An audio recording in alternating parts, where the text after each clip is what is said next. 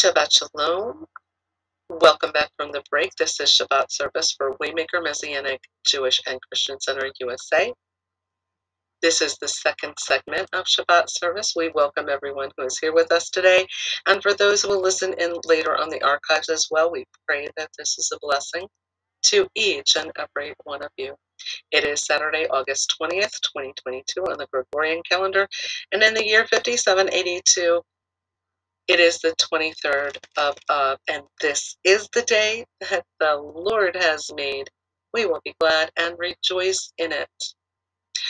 Um, just to recap on a couple announcements, we are continuing with the Bible study. Um, we are using the English Standard Version of the Bible currently, and we are going to begin First Chronicles, reading chapters 1 through 14 in the upcoming week. And on Tuesday evening, we meet live and, and in real time at 8 p.m. Eastern Standard Time. You can come meet with us. Uh, this is live fellowship. Uh, we do prayer requests and we do educational things as well. Um, so it is a good time in the Lord, and you're most welcome to come join us. You can join by phone or you can join by website. Um, I do post to four social media platforms. Um, I posted MeWe to USA.com usalife.com and to Facebook and to Gab. And in that posting, there's there's two links. The first link is the phone list. There's about 80 nations that have free access, and this is the free list. Um, as I mentioned in the in, in, the first segment, it says toll for every single one, and this is the free list that they gave us.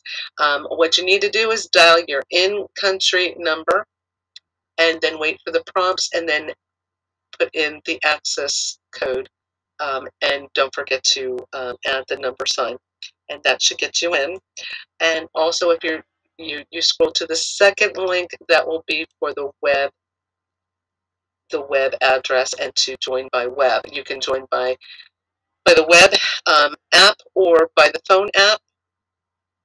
And it is safe to download and then to run the exact follow the prompts into the conference area, you will find that there's a built-in microphone, a camera, and a chat area, as well as a whiteboard. So um, those are two ways that you can join us.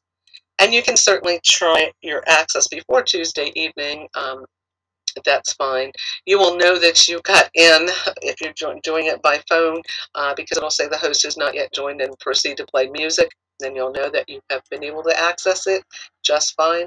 Uh, if you're having any issues, you can certainly message me on on um, on chat, and I will be glad to assist you. Even open up the conference room to walk you through it. I've done that in the past. That's not a problem. So with that being said, I'm going to open up with our with our opening prayer for this this half, and then we'll we'll commence with um, the second half of Shabbat. Avinu Malkeinu, our Father, our King, we thank you.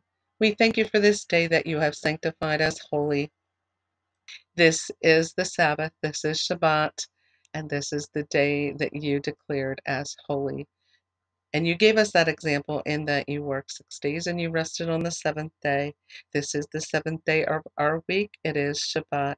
And we thank you, Father God, for that that you're a good Father and you give us examples. Father God, we ask your Holy Spirit to come lead us, come guide us, direct us in the rest of Shabbat service. Show us what it is that you want us to grasp from, from the rest of Shabbat and that we can incorporate it in our daily lives. We love you, Father God. We give you all the honor, all the praise, and all the glory because it all belongs to you. We pray this in the mighty name of Yeshua HaMashiach, Jesus Christ. Amen and Amen. And in the ancient days, the high priest sounded the shofar to gather B'nai Israel to worship, and we're going to sound the shofar now.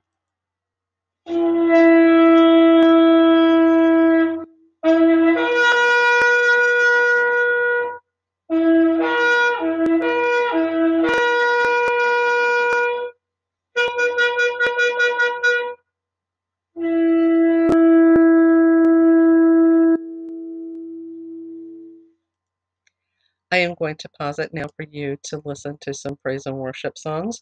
As I mentioned on the first part, I do not um, I do not incorporate anything on these recordings because we, we just haven't from the beginning to avoid any issues uh, on all the different places that we post to.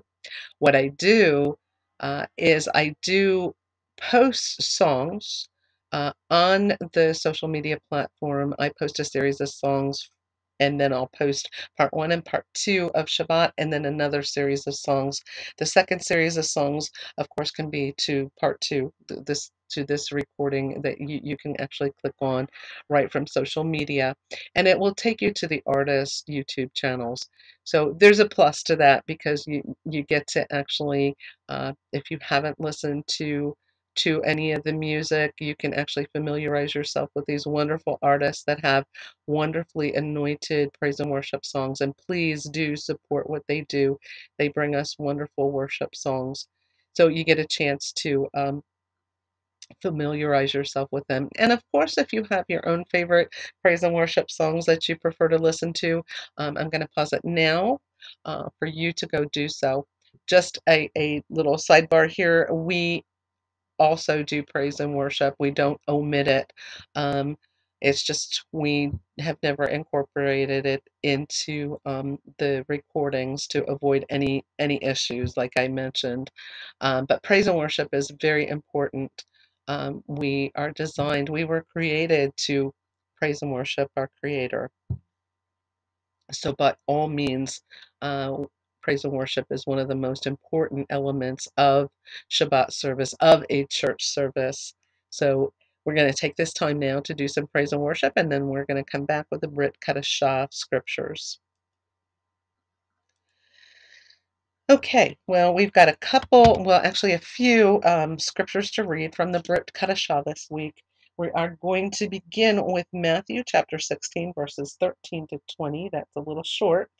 Uh, when Yeshua came into the region of Caesarea Philippi, he asked his disciples, Who do people say that the Son of Man is? They answered, Some say John the Immerser, others say Elijah, and still others say Jeremiah or one of the other prophets. He said, But who do you say I am? Simon Peter answered, You are the Messiah, the Son of the living God. Yeshua said to him, Blessed are you, Simon, son of Jonah because flesh and blood did not reveal this to you, but my Father who is in heaven. And I also tell you that you are Peter, and upon this rock I will build my community, and the gates of Sheol will not overpower it. I will give you the keys of the kingdom of heaven. Whatever you forbid on earth will have been forbidden in heaven, and what you permit on earth will have been permitted in heaven. Then he ordered the disciples not to tell anyone that he was the Messiah. Now, in some Bibles, excuse me, in some Bibles, that that statement will say, "Whatever, whatever you bind on earth will be bound in heaven. Whatever you loose on earth will be loosed in in heaven." So this is this is like this this is spiritual warfare. Uh, one of the one of the things we do in spiritual warfare is binding and loosing. So that is what uh, is being referred to here as well that it, and, and Yeshua is letting him know he's giving the authority back to the church um, and that he's building um, his church and he will be giving that power and authority. The dominion um, that was lost through adam and eve was going to be reinstated to the people. The next um, the next set of scripture readings we have Romans chapter 8, uh, verses 1 through 39. So it's the, the entire chapter of 8. Life in the Spirit. Therefore, there is now no condemnation for those who, in, who are in Messiah Yeshua. For the law of the Spirit of life in Messiah Yeshua has set you free from the law of sin and death. By being saved and born again, you're, you're born again uh, into the Spirit, uh, and, and, and it's through Messiah Yeshua that our sin debt is paid in full and forgiven. And we now have life, uh, the promise of eternal life. For what was impossible for the Torah because you can't, there's no amount of works that you can do to save yourself. Uh, since it was weakened on account of the flesh, God has done, sending his own Son in the likeness of sinful flesh, and as a sin offering, he condemned sin in the flesh so that the requirement of the Torah might be fulfilled in us, who do not walk according to the flesh, but according to the Ruach, and Ruach is the Spirit. For those who live according to the flesh set their minds on the things of the flesh, but those who live according to the Ruach set their minds on the things of the Ruach. For the mindset of the flesh is death, but the mindset of the Ruach is life and shalom. For the mindset of the flesh is hostile toward God, for it does not submit itself to the law of God, for it cannot. So those who are in the flesh cannot please God. However, you are not in the flesh, but in the Ruach, if indeed the Ruach Elohim dwells in you. So, you know, if the Spirit of God dwells in you, the Holy Spirit, the Ruach HaKodesh dwells in you, uh, you're not in the flesh, but you're in the Spirit. You're operating in the Spirit. Now, if anyone does not have the Ruach of Messiah, he does not belong to him. We must be born. And Yeshua tells this to Nicodemus, a Pharisee, that one must be born again of spirit and water. Period. Now, can you operate in the flesh? Yeah, because we're living in a fleshly body and we need to we need to be aware of that all the time.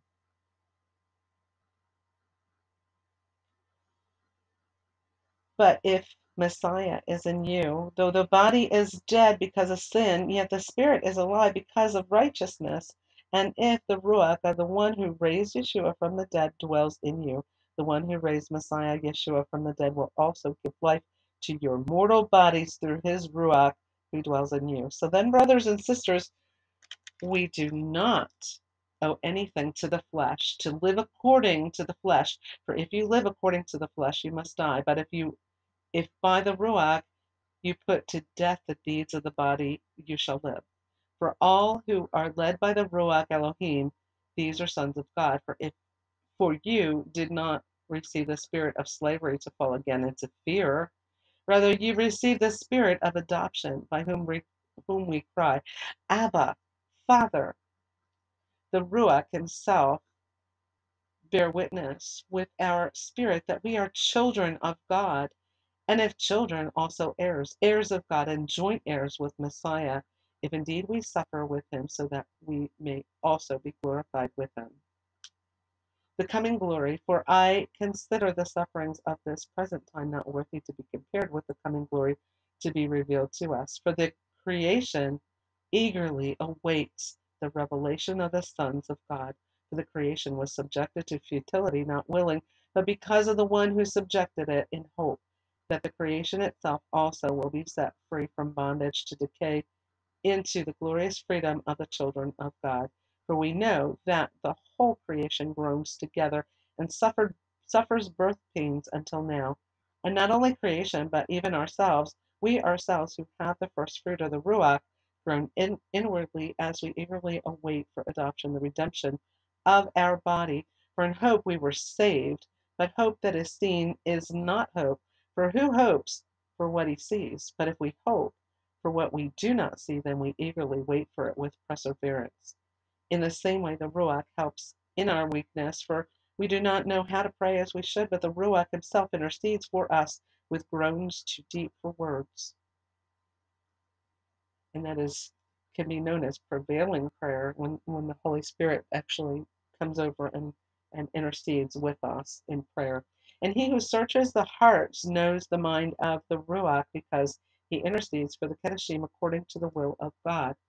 Now we know that all things work together for good for those who love God, who are called according to his purpose. So here is that love of God that parallels from the, the Torah portion. For those whom he foreknew, he also predestined to be conformed to the image of his son, so that he might be the firstborn among many brothers and sisters. And those whom he predestined, he also called, and those whom he called, he also justified, and those whom he justified, he also glorified. What then shall we say? in view of these things. If God is for us, who can be against us? He who did not spare his own son, but gave him up for us all, how shall he not also with him freely give us all things? Who shall bring a charge against God's elect? It is God who justifies. Who is the one who condemns?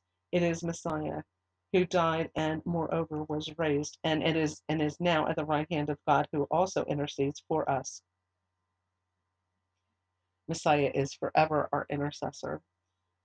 Who shall separate us from the love of Messiah? Shall tribulation or distress or persecution or famine or nakedness or danger or sword?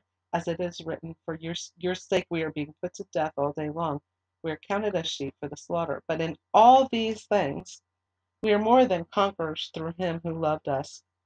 For I am convinced that neither death nor life, nor angels nor principalities, nor things present, nor things to come, nor powers, nor height, nor depth, nor any other created thing will be able to separate us from the love of God that is Messiah Yeshua our Lord.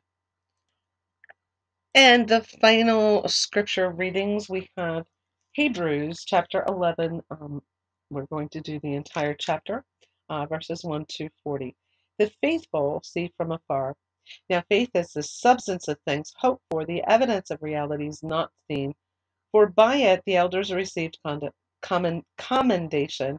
By faith, we understand that the universe was created by the Word of God, so that what is seen did not come from anything visible. By faith, Abel offered God a better sacrifice than Cain. Through faith, he was commended as righteous when God approved of his gifts. And through faith, he still speaks, although he is dead. By faith, Enoch was taken so as to not see death, and he was not found because God took him. He was, he was as we called harpazo, raptured. For before he was taken, he was commended as pleasing to God. Now, without faith, it is impossible to please God. For the one who comes to God must believe that he exists and that he is a rewarder of those who seek him. By faith, Noah, when warned about events not yet seen, in holy fear prepared an ark for the safety of his household. Through faith, he condemned the world and became an heir of the righteousness that comes by faith. By faith, Abraham obeyed when he was called to go out to a place he was to receive as an inheritance. He went out, not knowing where he was going. By faith he migrated to the land of promise as if as, as if it were a, were foreign, dwelling in tents with Isaac and Jacob, fellow heirs of the same promise, for he was waiting for the city that has foundations, whose architect and builder is God.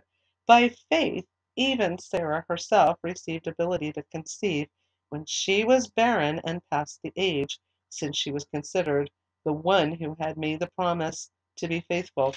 So, from one, and him as good as dead, were fathered offspring as numerous as the stars of heaven and as uncountable as the sand on the seashore.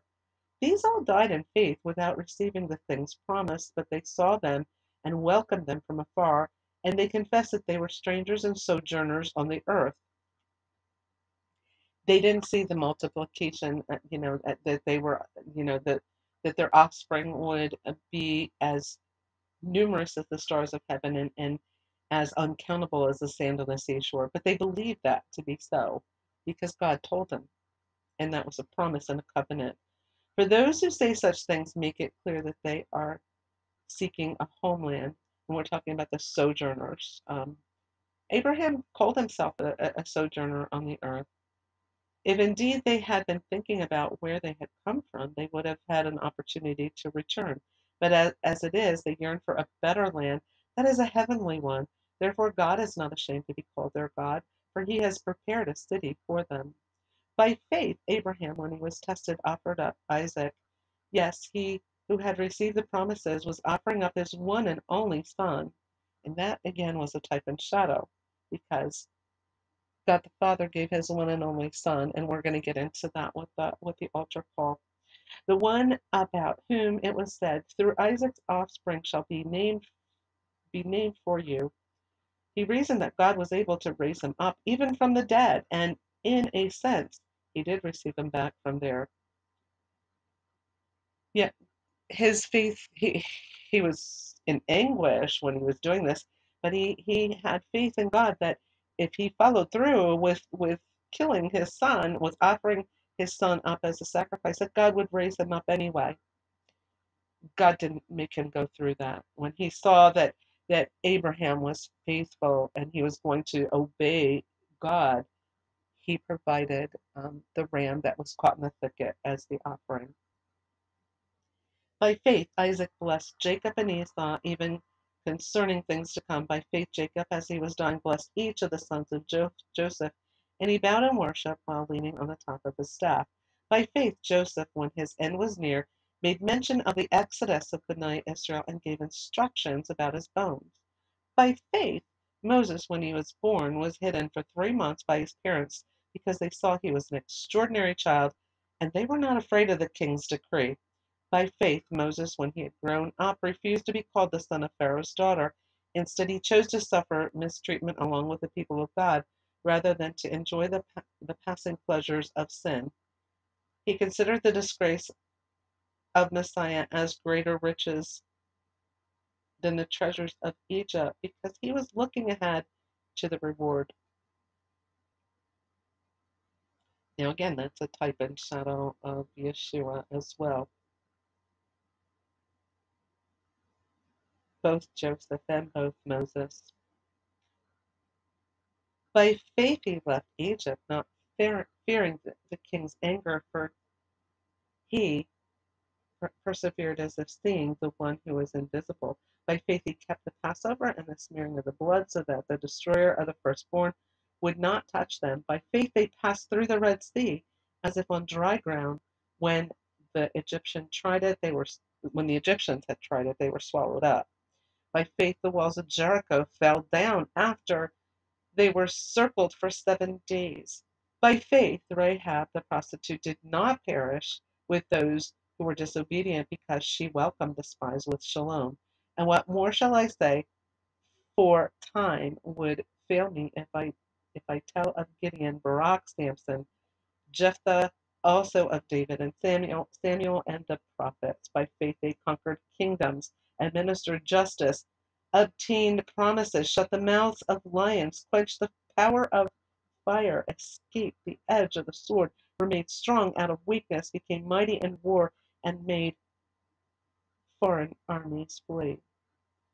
Women received their dead raised back to life, and others were tortured after not accepting release so that so they might obtain a better resurrection. Others experienced the trial of mocking and scourging, yes, and even chains and prison. They were stoned, they were sawed in two. Now he's speaking at, well, Isaiah was one that was sawed in two, one of the prophets. They were murdered with a sword like and they went around in sheepskins and goatskins. They were destitute, afflicted, mistreated. The world was not worthy of them. They wandered around in deserts and mountains, caves and holes in the ground. And all these, though commended for their faith, did not receive what was promised because God had provided something better for us so that only with us would they reach perfection. And that is the end of the Brit Chadashah readings for this week. Again, um, in the Torah portion, Moses was continuing to uh, prepare the people for going across the Jordan, um, letting them know that if they kept the mitzvah, that that definitely uh, Adonai would bless them, and they would do very well. He went over um, the some of the events that that occurred during the 40 years of wandering in the desert. And they were warned also against pride, uh, to to not say in their heart that everything, all the all the goodness, all the blessings that that Adonai was about to give them, um, that it was of their own works. But no, it was from Adonai. Adonai would take care of them, and and Adonai should get all the glory. So that is the the long and short of of that. We went into greater detail, of course, in the first half. Um, and also, um, I do want to mention also uh, the loving God with all your heart, with all their hearts, all your heart, and not turning to idols. That was stressed quite a bit. The Haftorah portion, um, again, is the second Haftorah of consolation. uh, which begins with a lament from Zion, the city of Jerusalem, that the Lord and, and the people were, were lamenting, mourning that they felt that God had forgotten them. And then they were told that no, he had not, but reminded them of the sin that had occurred, um, but that he was, that he still was their God and um, gave them encouragement Despite the calamity of exile and destruction of the temple, Jerusalem would be rebuilt and overflowing with the Jewish people. Um, so um, that was the Haftorah. And of course, um, in Matthew, um, the, the short read in um, chapter, chapter 16, uh, verses 13 to 20, this is when um, Yeshua is asking the disciples, who, who do the people say that I am? And Simon Peter is the one that said, You are the Messiah, the Son of the living God. And Yeshua said to him, Blessed are you, Simon, son of Jonah, because flesh and blood did not reveal this to you, but my Father who is in heaven. So he knew that he got it from the Spirit of, of Elohim, the Spirit of God. And he said, And I also tell you that you are Peter, and upon this rock I will build my community, and the gates of Sheol, Sheol will not overpower it. The gates of hell will not prevail, in other words, and also gave some key elements to uh, spiritual warfare. Uh, he said he would give the keys of the kingdom of heaven, and whatever you bind on earth will be bound in heaven, whatever you loose on earth will be loosed in heaven. So he was already letting the disciples know that he was giving, he was establishing his church, and he was going to he was going to give the authority and dominion back to his church once the evil one was defeated, which we know he was defeated on Calvary when Yeshua died. And you know, the the evil one is responsible for the death of, of an innocent person because Yeshua was innocent. He was not guilty of anything. So the reading from from um, Romans is a triumphant um, piece of confidence in the Lord to fulfill His word and keep His promises. Nothing in all of hell, earth, or heaven can separate us from the love and purposes of Adonai, who works all things together for good to those who are called out to be His own treasured people. May His great name be praised forever and ever. And and the passages in the book of Hebrew links to the Haftarah, just as Abraham is described. We went through all the people that uh, had deep faith. They did not see, but they had faith in, in God that, that this would happen. Uh, just as Abraham described as looking forward to the city that has foundations, whose designer and builder is God, and Sarah is described as conceiving Isaac through faith. So we too, as followers of Mashiach, Yeshua, are strangers and sojourners upon the earth. We are in the world, but not of it. That statement is so true. And we are eagerly anticipating the revelation of the Lord at the end of days. We're waiting for his return eagerly to go with him. We to await the future glory of Jerusalem when the Lord Yeshua will reign as King of Israel during the millennial kingdom, and all the promises given to national Israel are fulfilled. And that is the end of our readings from the ha- from the Torah, the Haftorah, and the Brit Chadashah for this week. And we're going to close in prayer and open up with our um, altar call, and then we will close out Shabbat service for this week. Father God, we thank you for this powerful word. We thank you that you are a loving God and you long to bless your children, your family. You love us that much. And by faith and trust in you and focusing on you, you do bless us. We love you, Father God, for that. Help us to, to maintain our faith vision that you give to each and every one of us individually. You put callings on our lives. You give us a faith vision that we are to we are to see and help us to keep those negative thoughts from entering that, that are placed from the evil one to try to distract us, to steal from us the faith vision that you have given to us. Help us to stay focused on what you have called us to do, to continue with the great commission that you have called us to do. And we thank you for all that you have done in sending us your Son to redeem us first and foremost. We thank you for all that you are currently doing and all that you will do. And we have faith in the promise of the coming of our King that has been promised to us, and we do anxiously await his return when he will set everything straight. We long for that day. We love you, Father God. We worship and adore you.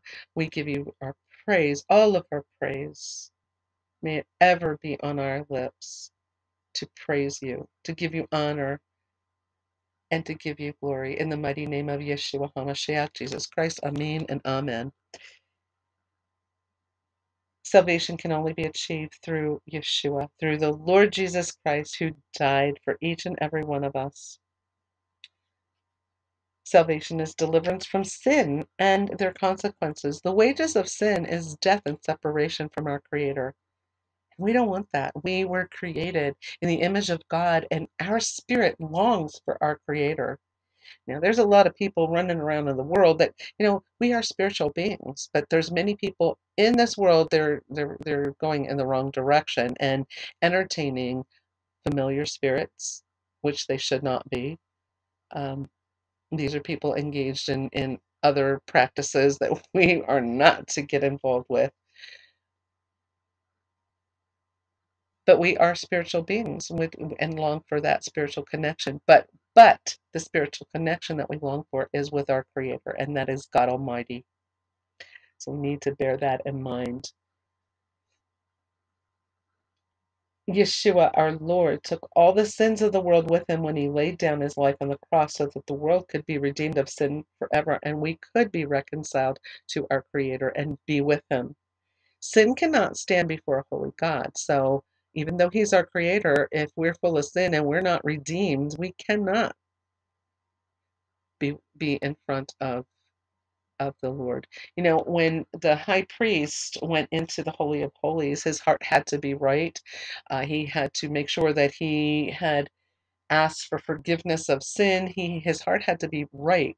Otherwise, he could have been struck down dead because sin cannot stand before a holy God. So this is one of the reasons why on the hem of of the robe of the high priest they had these little bells that were sewn in. So the other priests who were mulling around you know in the holy place beyond the veil um, they would hear the high priest moving about and if they didn't hear him they got a little concerned you know was he right with god? Did god strike him down? Um, so it was very very important. And no, and, and and so is the same for us. Sin will not stand before a holy holy God, and and our fleshly sinful body will not inherit the kingdom of heaven. We must be born again, born of spirit and water. Jesus, Yeshua told Nicodemus this, and you can read this yourself in the Gospel of John, chapter 3. He says, Flesh is flesh and spirit is spirit you can you know you need to be born again and no not born in the flesh again because you're already born in the flesh you cannot repeat that. But um, through him you can be born again through his spirit. And he covers us. We become one with him and abide in him. And father god loves Yeshua so much, loves the Son so much, because he's perfect in every way. Now, getting back to um, the sacrifices that were made in the Old Testament were a covering for sin, because the wages of sin are death and separation, as, as we mentioned. God did allow for a substitute, but he also then allowed for the ultimate substitute to take away the sins of the world so we could finally, once and for all, be reconciled. And for God so loved the world that he gave his only begotten Son, that whosoever believes him in him shall not perish, but will have eternal life. God did not send his son, Yeshua, into the world to condemn the world, but through him the world might be saved. But you also have free will to make that decision. Romans chapter 3, verse 23 says, For all have sinned and come short of the glory of God. And Romans chapter 5, verse 8 says, But God commanded his love toward us, in that while we were yet sinners, Yeshua died for us. God sent his only Son. Abraham didn't lose his son to a sacrifice. God spared him, but that was a type and shadow. He was obedient to that point. Yeshua was obedient to death because he came to redeem us. He emptied himself of all his God-like qualities because he had to come as a man to defeat the evil one, to reverse the curse that was uh, done so long ago in the Garden of Eden through the first Adam and Eve when they brought sin into the world. And they lost their glorified body because they had the glory covering of God. And once they sinned, they they, they could not be present in front of God in, in that manner and they realized that oof, we're in this their body changed into this flesh-like body and they realized they didn't have clothes and um, they were ashamed they hid uh, and the whole nine yards and this is where it all began. But jesus when he died on the on the cross he reversed that curse and he gave dominion and authority back to the church. We need to exercise that in jesus name See, when Adam and Eve sinned, they lost, they had had dominion over the earth and authority, and that included over the evil one and the third of the angels that were thrust to the earth. And that angered Satan so much. He had once been a highly respected cherub who had a very uh, important job in heaven. He guarded the throne of God Himself and also was a praise and worship leader. He he was the, one of the most beautiful angels, and he was in charge of other angels as well. Well, he did convince a third of the angels uh, to rebel against God. He had become so prideful, uh, very conceited in himself, and he thought he was he, he could take over the kingdom of God. Well, he is a created being himself. God created him he cannot create anything. When he was in heaven, um, his name was Lucifer. That name, that title, everything was stripped from him. He is given the name of serpent, dragon, um, evil one, Satan, the Hasatan, um, nothing nice. so he actually disguised himself as a serpent Otherwise, I think Adam and Eve would have known who he was and and and dealt with him, rebuked him, and kicked him out. Um, but he was very cunning and very sly, and he knows the word of God, and he knows how to twist the word of God. And he did just that, and it enticed Eve enough to look at the tree. To it tempted her enough to look and say, "Oh well, everything looks good on this tree. What what what could be wrong?" And and actually he promised them something that they already had. They were made in the image of god and he he said oh eh, you will be like gods. Well he, they were already like like like god being created in his image. So they he tricked them with with the play on words and i will caution people today to be careful who you listen to because there's there's just a subtle twist of the word. The words uh, can change a whole meaning. Um, even just the way the you say something when you para, you know, paraphrase things and paraverbal communication, uh, not the way you say something. It, it's not not what you say, but how you say it too can change a meaning. But just to twist, a, take a little bit of truth and twist it.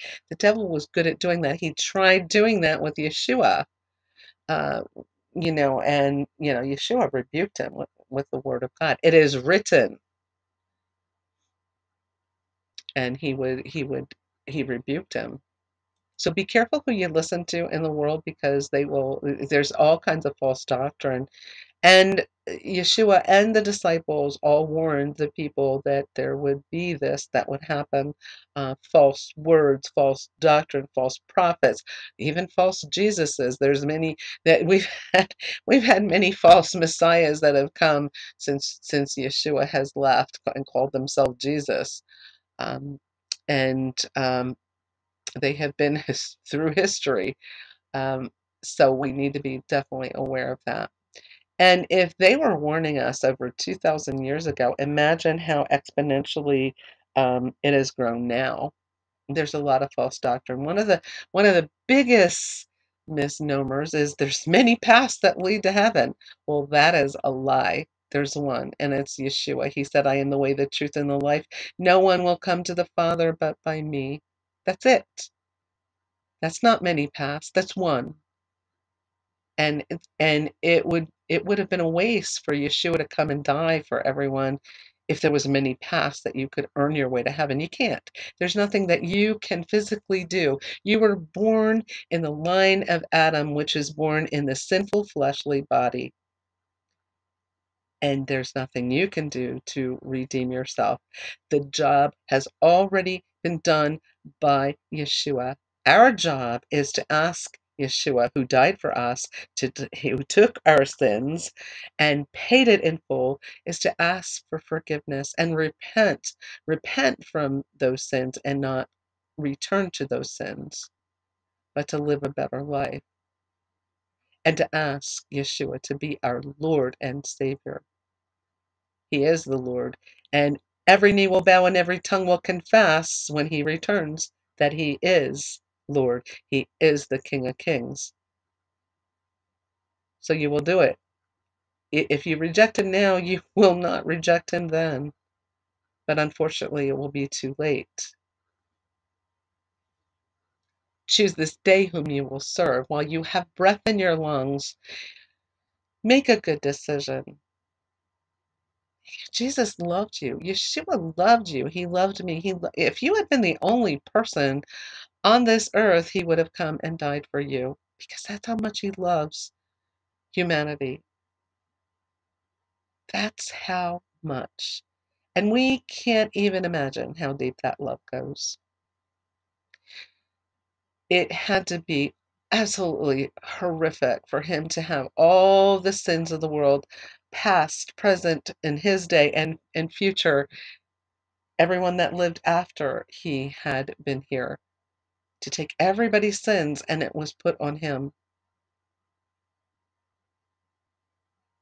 Because sin cannot stand before a holy God, and he it he being so connected to Father God, it was that was another anguish that he went through, that separation, even though it was short it was long enough to cause him pain, emotional pain, physical pain, the whole nine yards. And the physical pain of the way he died. And before he died, the anguish that he went through, he, he took a beating from the Roman soldiers. One of those stripes was for our, our illnesses and afflictions. So we can say, by his stripes we are healed.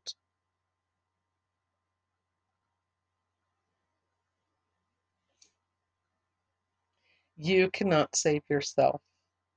There are not many paths to heaven. There's one. So don't listen to the world. The world will lead you to hell in a handbasket very quickly. And and that is the truth.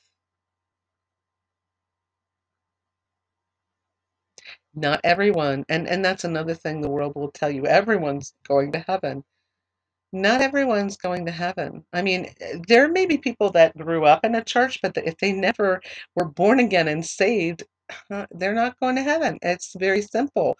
Yeshua said it. It is so. And he said there will be those who stand before me and say, Lord, Lord, did I not pray in your name? Did I not did I not prophesy in your name? Did I not cast out, out demons in your name? And he will look at them and say, Depart from me, you worker of iniquity. I don't know who you are. Because they probably never accepted him as Lord and Savior. You, they never, ever were saved and born again. The sad part is many churches have taken out altar calls You don't know who's sitting in a church pew that really is not saved. It should be offered at every service. Every service. We can't assume that just because somebody goes to church that they're born again and saved. Maybe not so. One of the thing this is one of the things that the Lord put on my heart to put in every every teaching service what, what whatever I'm doing um, to do this to do an altar call and ever since it was put on my heart to do so I have I never know who may come across this video and may not be saved and just it might be the right timing the right day the right moment in time that they are ready and willing to come to the Lord. He loves you. He wouldn't have come to this earth and died a horrific death if he, he did not. All the money in the world cannot buy your way to heaven because once you leave this earth earth suit that we occupy in this this earthly realm, this is so temporary too, mind you um, in comparison to what eternity is. Eternity is forever, and that will go on and on and on and on and on. Um, once you leave this this this body, this life, this temporary existence that we're in, your money means nothing. And if you go to heaven or you go to hell, it means nothing in either place. You can't spend it where you're going. It doesn't mean anything. It's only here for the earthly purpose of living in this world that we live in. So be careful. Choose this day whom you will serve. Be wise. Be wise, is all I'm going to say. Eternity is forever. First John chapter 1 verse 9 says if we confess our sins he is faithful and just to forgive our sins and to cleanse us from all unrighteousness. He is the only one that can do this because he died for each and every one of us. All you got to do is call on his name ask for forgiveness and he will forgive you. He will forget your sins. He will throw them as far as the east is to the west. He will remember your sin no more. It's as if it never happened. So if you are ready to say this prayer with me today, if you would like to, to be saved and to come to the Lord Yeshua, Jesus Christ, and make him your Lord and Savior, you can say this prayer with me now. Dear God, I come to you today to confess that I'm a sinner. I totally understand now that I need a Savior, and that Savior is Yeshua, Jesus, because He died for me on a cross. I believe Yeshua died on a cross, was buried, was rose again, and is sitting at the right hand of the Father now. And I believe He is coming again to rule and reign.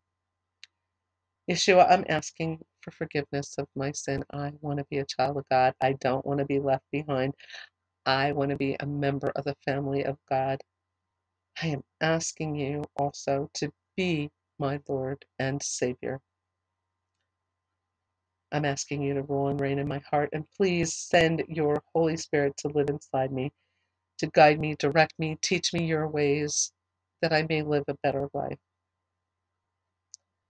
I believe you are the Messiah. I believe you are the Savior, the one and only Messiah who will be coming again. I believe you are the King of Kings and the Lord of Lords. And I thank you for everything, Yeshua. And I believe through you and you alone, Yeshua, that I am saved, healed, born again, set free, and delivered from sin and their consequences. And I am now healthy of mind, body, and soul. In Yeshua, Jesus' precious, mighty, and awesome name. Amen and amen. And if you've said this prayer with me, welcome to the family of God.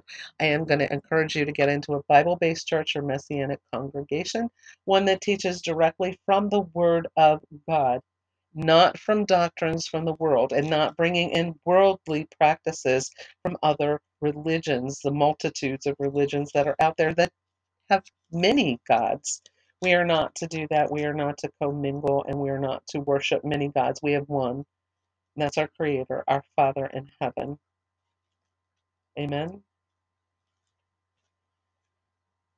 So I would encourage you to get a copy of the Bible so you can actually read the Bible and get to know the heart of your Father, get involved in a Bible study, develop a prayer life, start praying and start talking to your heaven, Heavenly Father. Being born into the family of God, God is your Heavenly Father now, the Creator of all things. How wonderful is that? And He wants a relationship with you.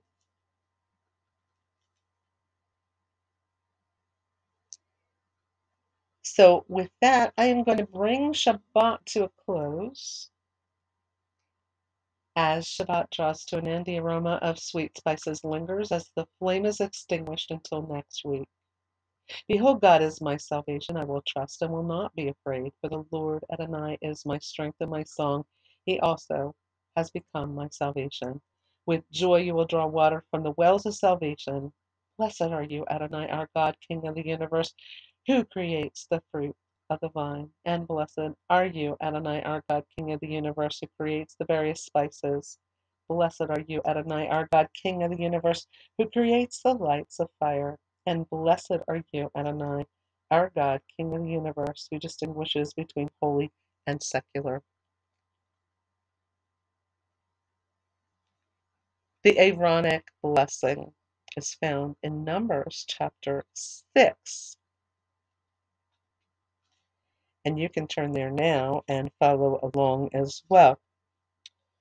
It's in chapter 6, verses 22 to 27. This is when the Lord spoke to Moses, telling Moses to speak to Aaron and his sons that he wanted to put his name on B'nai Israel and he wanted to give them a blessing. Again, this Shabbat was about the blessings of, of Adonai. Now, when you are born again into the family of God, God puts his name on you and he seals you with his Holy Spirit. So this blessing is for the entire family of God.